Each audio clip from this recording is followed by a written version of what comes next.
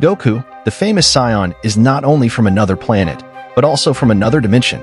This dimension is filled with battles and warfare, where Goku was raised as a hardened warrior.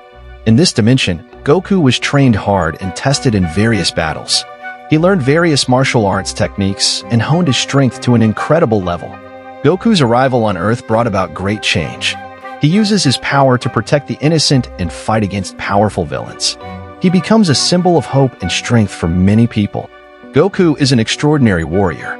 He is brave, determined, and always strives to become stronger. He is an example of a true hero who is always ready to help others.